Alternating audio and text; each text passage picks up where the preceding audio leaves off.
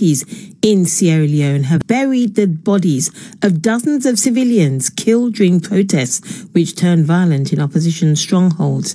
It comes amid concerns by the bereaved families that six police officers who were killed in the same process were, protests were laid to rest two weeks later at a ceremony, ceremony presided over by the president.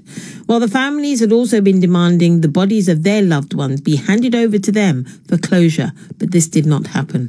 Umaru Fofana was at the central mortuary as the bodies were collected and taken to the cemetery for burial by the state.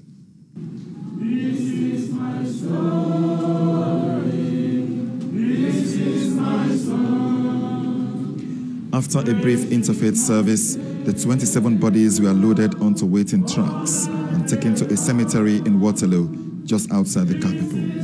There were buses to convey the families to say their final goodbyes.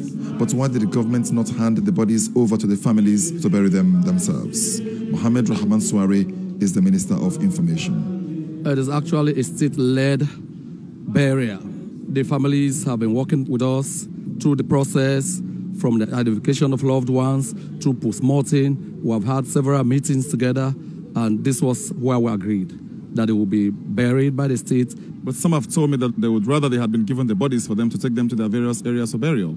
I could understand those sentiments coming from bereaved families. But in the end, government also had national security considerations to take into consideration. We have seen these issues around the world. People make martyrdom out of um, slain persons, particularly following incidents like those.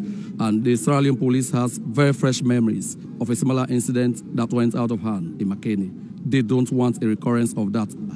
And did he have to keep the bodies for more than two months to do this? The bodies had to be kept because when incidents like this happen, you have to identify who the persons were. Even as at this point, some still went unidentified.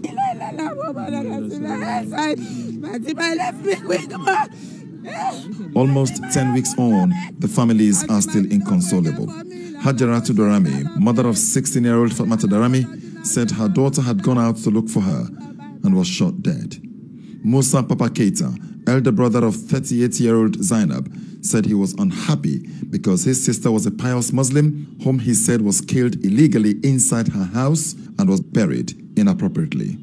It is a sad day. It is very, very sad and disheartening. I don't know how to express myself now because it is not easy for us. And it has been a while and they did not give us permission to bury our sister. The way the funeral rite was organized today did not go down well with me because we are Muslims. We only recite the Fatiha.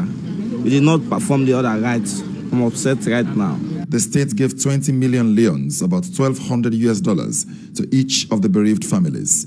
But the family of Hassan Dumbuya, better known as Evangelist Samson, rejected the money. His elder brother, Alusan Koroma, told me why. It's just a way of expressing our grievance towards the state that we are not happy with what they have done. We've endured the killing, but them seizing the corpse, no, that one is unacceptable. Well, they say that uh, they did this with the acquiescence of the bereaved family members. No, not all the family members approved. We were there at the meeting and we disapproved. What do you make of what the minister's reason is, namely security concern for not handing the bodies over to the families? We don't accept that. It's not as a result of security concerns. What do you think is the reason? Possibly they might be viewing Evangelist Samson with a political lens. He is a political social media commentator. Evangelist Samson is well known for the APC party. Totally devastated because Evangelist Samson is the man of the family. Dozens of people are still standing trial for the events of August 10th. Some have been convicted, and more are being picked up by the police for prosecution. And that was Umaru Fofana reporting.